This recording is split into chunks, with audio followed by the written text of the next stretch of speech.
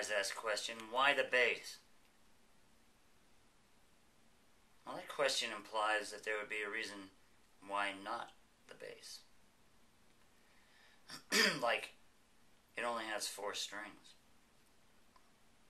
Or it's more painful to play than a guitar. Alright, why the bass? Well, I come from a tiny little town up in New Hampshire.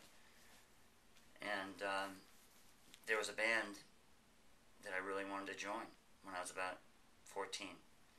Um, but the thing is, is they already had two guitar players, and um, so I was a I was a guitar player at that point. point, and they said, well, we don't need a guitar player, but we need a bass player, and if you try it, we have a bass you can use. So I tried it, and I absolutely loved it and stuck with it. Still keep up with guitar playing, but you know my role in the band is definitely bass, and um, it's a good instrument for me because I have uh, I can count really good in my head. You know, I can feel 16 bars go by. I don't even have to count. And uh, I gravitate toward the, uh, the, the rhythmic aspect anyway, so it works really well. Plus, I'm tall, and the tall guys usually have to stand in the back. So for me, that's next to the drums. So I want to play an instrument that goes good with drums. Hence, the bass. Tom, what's your favorite bass song, Aerosmith or otherwise? Well, you know, I'll, uh, you know, I hate to give the usual answer, but I'm going to plug Sweet Emotion here.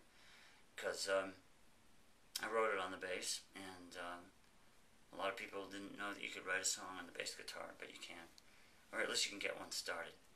So that's um, it's one of my favorite Aerosmith songs to play bass-wise.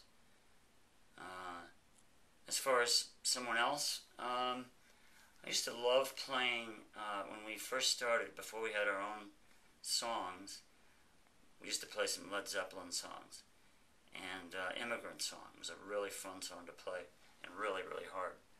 Um, and um, what else? Yeah, that, yeah, it's got a lot of really fast notes and you have to skip strings and it's good.